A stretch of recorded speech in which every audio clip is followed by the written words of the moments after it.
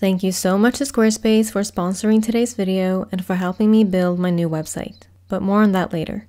The world is made out of stories. Stories that allow us to travel through time, stories that allow us to enter the great minds of people like Nietzsche and Plato. We can go back thousands of years and learn about the human species and how we developed to become what we are today.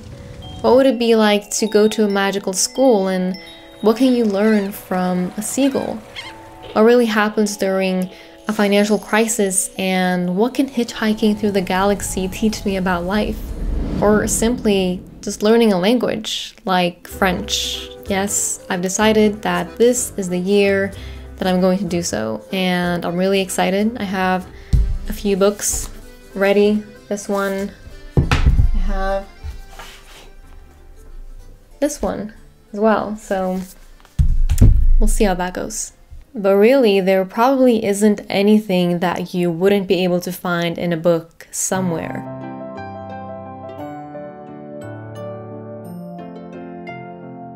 Now, sometimes we are just looking to better understand ourselves and to feel understood by someone else as well. And we just want it to be factual and straight to the point, and Susan Cain's Quiet gave me exactly that, as it is the book about introversion.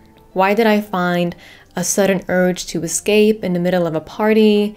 Why did one day of socializing come with three days of rest? And how come I was more of a listener in larger group, yet in one on ones I could talk for hours? This was the ultimate, oh, that's why I'm like that kind of book for me. But I definitely don't think that it's one that should only be read by introverts. I think this piece should be devoured by any person because the importance of understanding not only ourselves but others as well cannot be emphasized enough. I mean, really, I think that's one of the fundamental issues with us human beings. We don't understand other people and we don't really make enough effort to even try. Because with understanding comes empathy and it just increases your emotional intelligence overall.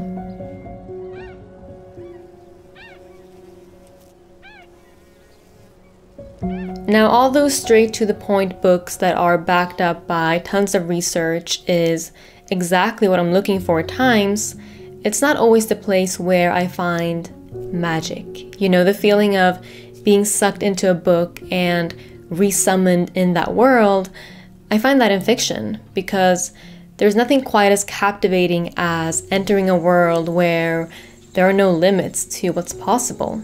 You know, the characters become your friends, you empathize with them, you root for them, you might even cry when they hurt, and I've never felt this more strongly than I did when reading Stoner by John Williams. It's a simple story about a simple man, and some would even call it boring or dull, which to me usually means fun and exciting. And I read Stoner about a year ago, and I still find myself thinking back on it from time to time.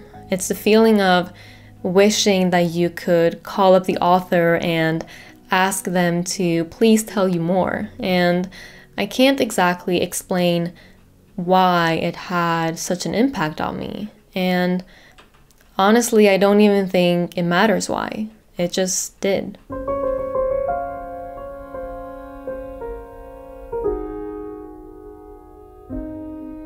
Now, there are times when we want something completely different from what we would usually go for. And when it comes to art, everything from music to books to museums, I always try to push myself out of my comfort zone to try something I usually wouldn't try because each time that I have, I found something that I didn't expect to find. You know, sometimes something helpful, sometimes something interesting, sometimes something that changed or broadened my perspective somehow. And sometimes I find reminders that I didn't know I needed in life. And that's what I found in the book The Little Prince. It's a tale about a boy who travels to different planets where he meets different people each with their story. And it's a tale about loneliness and love and loss and friendship. And it's a children's tale, but I think it was C.S. Lewis who wrote that a children's story that can only be enjoyed by children is not a good children's story. Something like that.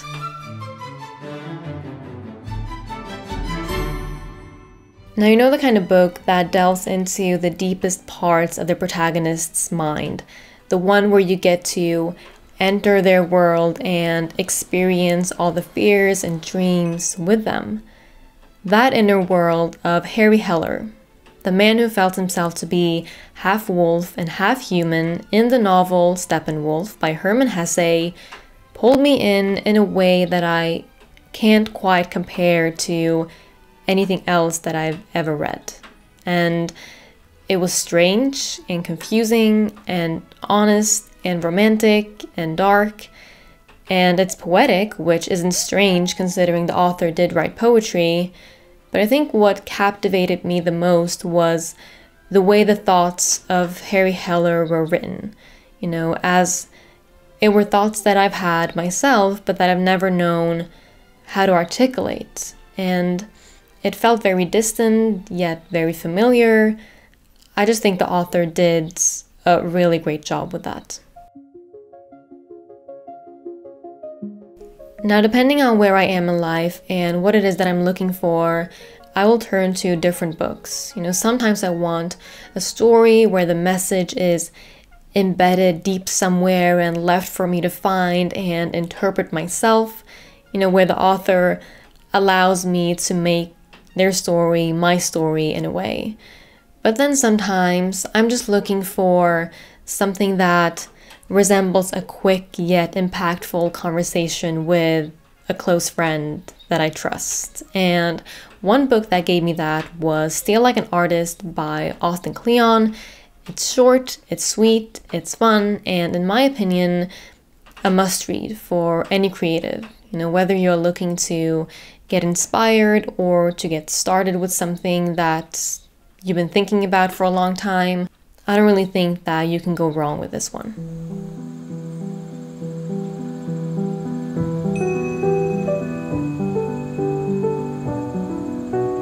Now, as I said, sometimes I prefer to learn through stories that don't exactly pinpoint what the message is or what the lesson is, but rather that leaves it up to me to kind of find and interpret myself.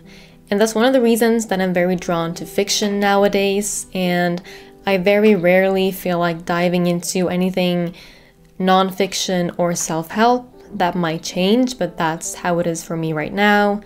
But this next one somehow gives me the best of both worlds. It's psychology told through a real story, and it's one of those books that made me fall in love with reading all over again. Man's Search for Meaning by Viktor Frankl is too quick of a read to not be read by everyone. It's less than 200 pages that left me feeling hopeful and grateful, you know, despite the horrific circumstances portrayed in the book. And it left me asking myself all the big questions in life, like is what I'm doing meaningful? What does that even mean? And how does one even know? You know, it was a little bit of an existential crisis, but in a good way.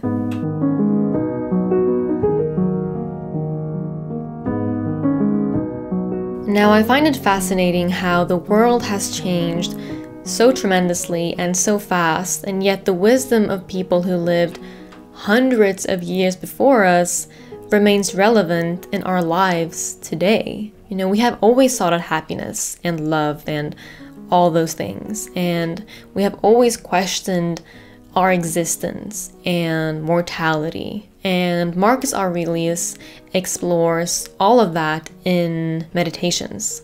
The Roman emperor who thought that he was just journaling, but who ended up having a big impact on a lot of people's lives. And this is not a book that you just want to rush through, it's one that you want to keep on your nightstand or on your phone and just go back to it from time to time, read a couple pages, and reflect on it. You know, there's no rush. Now, some of these books are books that we have read in our book club. Yes, there's a book club on this channel. I will be leaving some information about that in the description box if you're interested in knowing more or if you would like to join. Now let's talk about today's sponsor, Squarespace. Now, I oftentimes receive messages from people who are artists or who have their own business or who are just starting out, and whenever I go to look them up, oftentimes there's nothing to look up. And I always think to myself, why don't they have their own website? You know, whether you are a blogger or entrepreneur or artist, having your own website can only do you good. And with Squarespace, you can make sure that website looks professional as you get to pick any one of their templates and have your site be just the way that you want it to be. And you can keep track of the traffic, you can connect your social media, and so much more.